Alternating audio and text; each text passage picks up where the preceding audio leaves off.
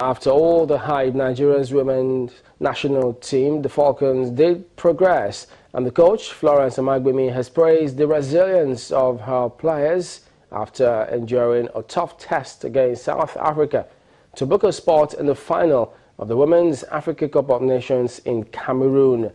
Well, that decisive goal was by Desire Oparanozie, who gave the Falcons a slim victory to set up a mouth-watering clash against the host nation.